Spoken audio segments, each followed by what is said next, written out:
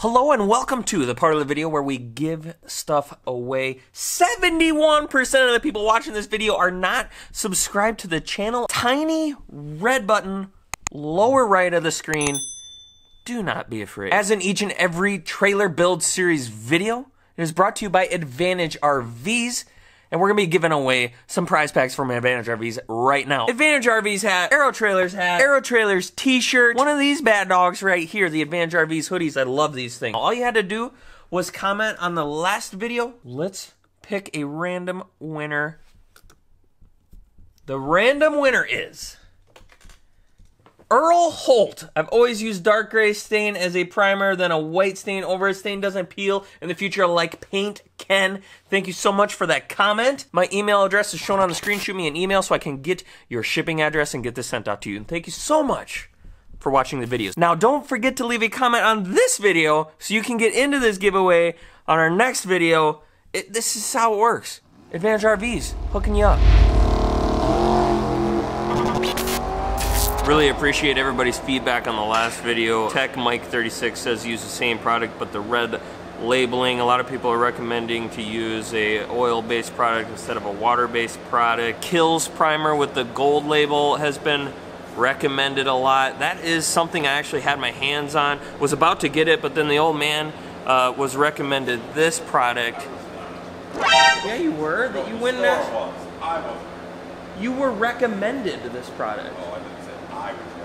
Fast Prime 2 primer and sealer. Apparently this is the difference, is that this has a sealer in it. Uh, it's the same brand of the product that we used before. It's water-based. I don't know if it's going to work any better or not. What I have noticed on the trailer, you guys, is uh, where we kind of have double coated the existing primer, it looks quite a bit better. In the seam area where I went through with the brush just to really try and put a lot down throughout the seam area, you can tell that the coverage is quite a bit better. So I think we're gonna hit it one more time here with the product that, uh, like I said, was recommended to the old man.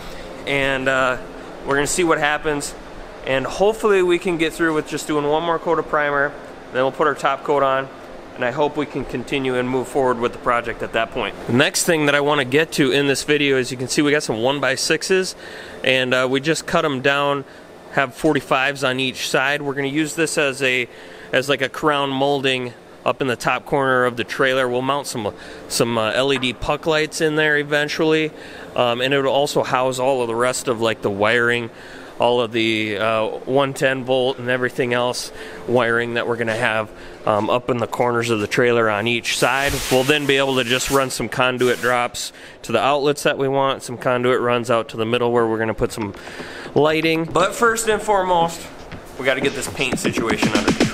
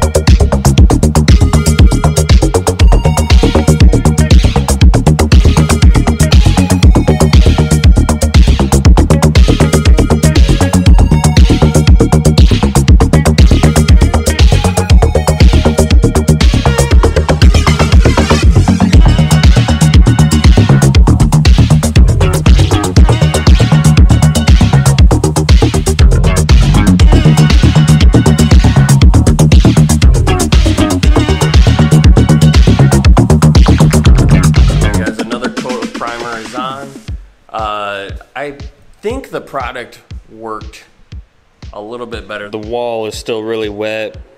Ceiling is a little more dry. You see it's kind of smoothing out. I, I, the ceiling is looking pretty good. Hopefully the top coat will cover all the rest of it. And uh, you know, overall this thing's looking pretty good. I think once we get the, the corner trim in there, it's gonna it's gonna really shape up and look look finished and look complete. Vera's got all the corner pieces ready to go. What color are we gonna paint them, Vera? What? I I think we're gonna paint them black. Black?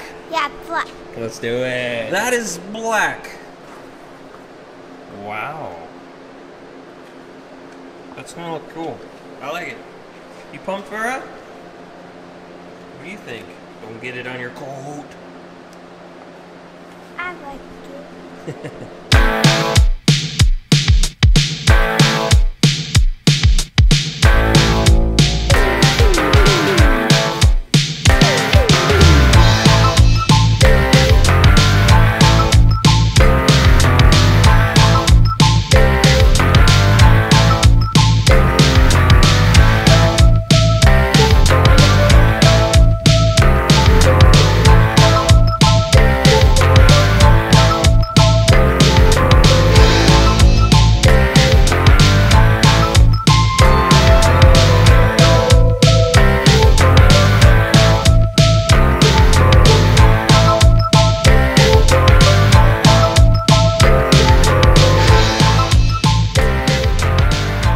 All right, guys, happy to say that the painting is done.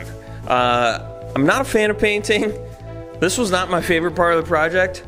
I promise you, if I were to do this again, I would look a lot harder for a product that, that came white so that we could avoid the painting process. But uh, the painting process, the top coat is stellar. It worked really good. We had really great coverage. Um, the drying, it's looking good. I'm happy. Everyone's happy. The old man killed it. And uh, painting, check that off the list. I've also put down some black on these trim pieces, as you can see. Um, really liking how this turned out. I think this is gonna, you know, break up the inside of the trailer. The aesthetic is gonna match the outside of the trailer. I think it's gonna really look nice. Plus, it gives us a good, uh, secure way to mount some lighting and run the run the wiring behind there. So we're gonna be getting to going as far as uh, fitting up how those are gonna. There's gonna be some fairly complex angles towards the front of the trailer in the V nose area uh, with these, but uh, we're going to get that figured out. We're going to get this kind of fit up, get it started. Um, we don't have the right screws that we want to use for this yet, uh, but we are going to get it fitted up, and then we'll uh, we'll end up having to take it down and probably touch up the paint on the edges and the seams and things like that. But uh, that's where we're at, and that's where we're going to get uh, started on the on them on them corner pieces.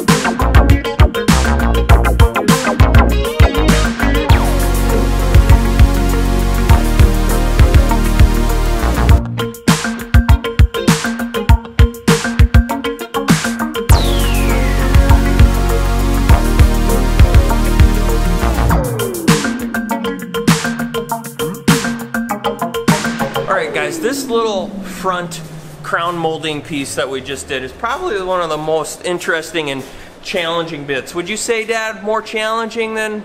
Yeah, it was a pain, yeah. That was a pain. It was fun, right?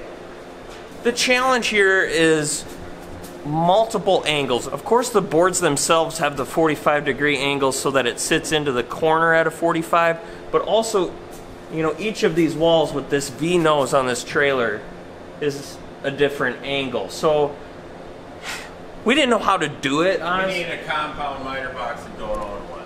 We don't have, yeah, we do not have a compound miter box. So the approach that we took was to uh, make some test pieces and just nibble away at them until we got a good fit on our test jig pieces, and then just cut them one piece at a time. We kept cutting them, you know, a little too long and taking a little bit off, taking a little bit off, taking a little bit off, and honestly, it it's not perfect, but it's way better than exceeded my expectations. Would you think that? Yeah, I, I was hoping it would turn out this good, but I didn't think it would. He had low confidence, you guys. So the hard part is done for that, and I'm glad that that part's behind us.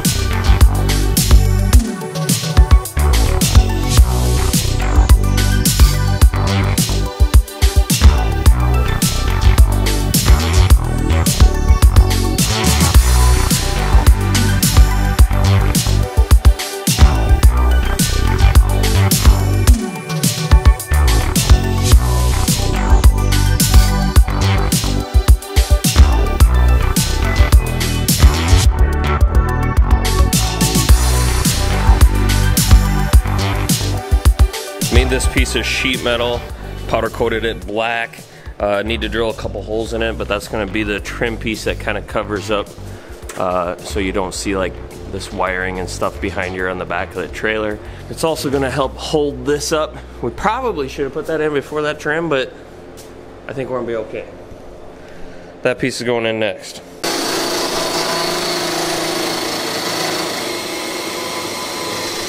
Check it out guys, getting started on the electrical.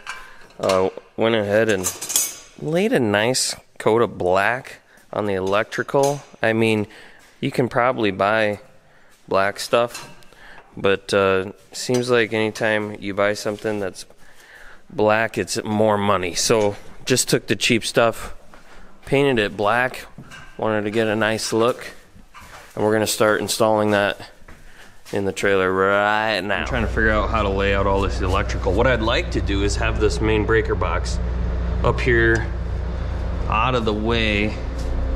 However, what that's gonna do is uh, all my cord, you know, going out the trailer, I'm gonna waste like 10 feet just getting out the trailer if I put it up high like that. Uh, alternatively, I could put it down here, not waste any cord, but I have some pretty big totes that I plan on storing right here in this area and I don't have the exact measurements. They're not with me right now. And I'd hate for this to be in the way for that. So what I think I'm gonna do is split the difference. This is gonna get mounted about here and put this kind of right in the middle. That way the biggest totes will be free and clear and then they kind of stack up and there's a little bit smaller totes up above so this should be out of the way. So I think that's what I think that's what we will do. Let's wait one second before we get all. Where we put this, we've got to be able to run a conduit straight up, or however many conduits. Oh, I'll put that down, down top it. The cord. You said about the Oh, that's cord. right. I keep forgetting. All right, guys, I changed my mind. We're putting a electrical box back at the top. After further analysis of the amount of space up here required by some of the things I want to have up here,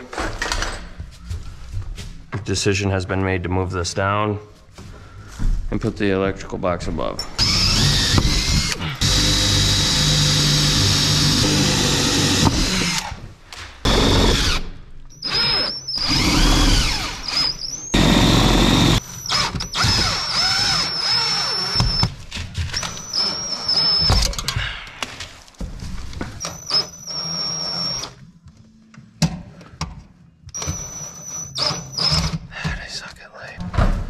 Maybe you can get through with that.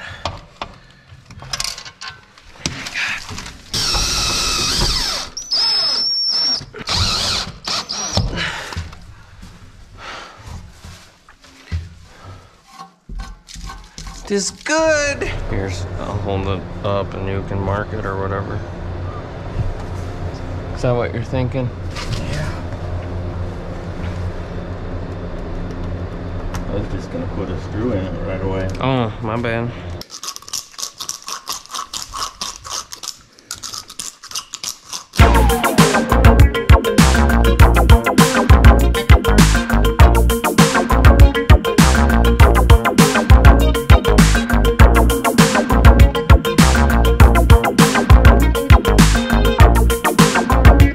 Lot more like a trailer. We're going to be starting to get into a lot of the really, really fun stuff very soon uh, when it comes to organizing this thing out and totally getting it set up for uh, live stream capabilities in the most pristine, optimized, just absolute cherry way possible. Don't forget that we are giving away Advantage RV's prize packages on every single trailer build series video. All you have to do is drop a comment down below and you're entered in to win that prize package courtesy of Advantage RVs. Thank you to Kevin and the entire team over at Advantage RVs for sponsoring this series.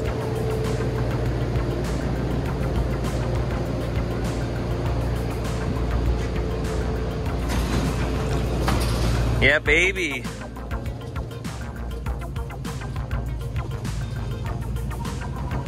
Sun is shining, boys. Must be getting closer to racing season. Sun is out. Need to melt some more of this white stuff though, like a lot.